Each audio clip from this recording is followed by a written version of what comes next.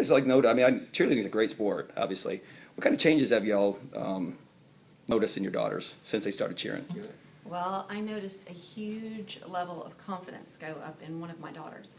When we first started here at Stingrays, um, we started just for tumbling.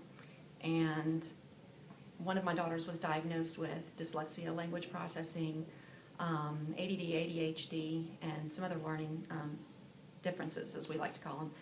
And cheerleading gave her something that she could do, and she could do well. And she has seemed to grow and grow and grow um, by leaps and bounds. It gave her confidence in her schoolwork, it gave her confidence with her peers, and um, I know that that's what it is. If we ask her what she wants to do and how she wants to do it, she can always fall back on cheerleading. Um, she may not be the best reader, um, she may not always get straight A's, but she knows that she can come to the gym and feel like a success.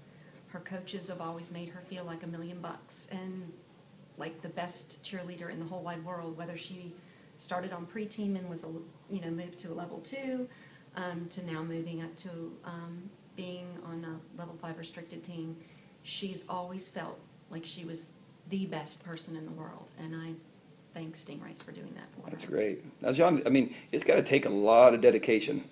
I mean, you know, kids got so much going on these days. I mean, balancing schoolwork and.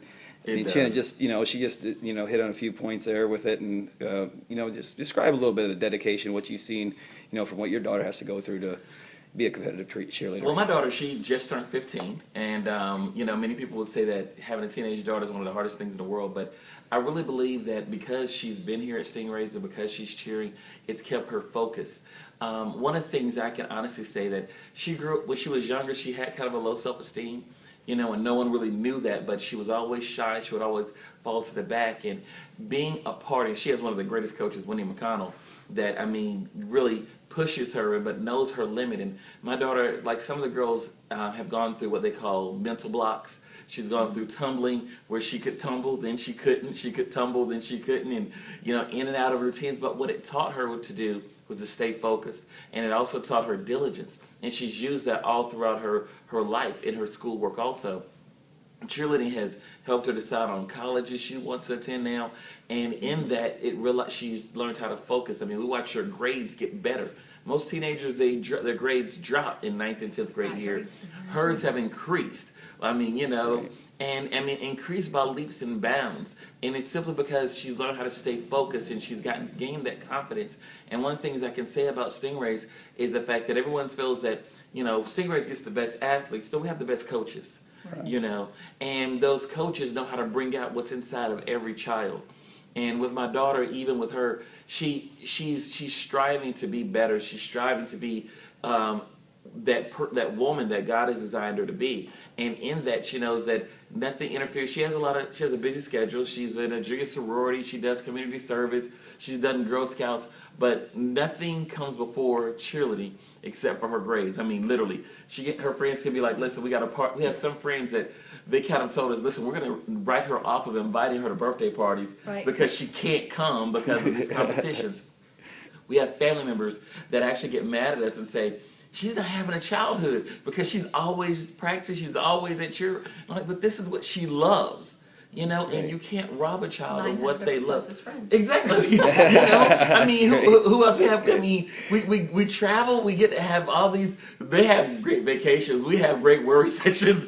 But I mean, it's it's fun for them, and that's what they live for. And you know, a lot of people, when you think about it, they, they have a lot of kids don't get this kind of experience. They don't get this kind of camaraderie to be a part of something this great. And then the fact of actually knowing that you're part of a number one team. Last year, she won Summit you know, and Summit was a big deal. I mean, so they literally won the one the, the best J five team that was out there. They were they were the deal. That's you know, awesome. Green was she got the ring. She loved it. I mean, brought tears to my eyes. So and, and it showed her what hard work can do through that accomplishment. So I tell anybody if your child is in is in all competitive cheerleading, just stick to it. I mean, make sure that that's what they want to do first, and by all means, don't live your life through your children.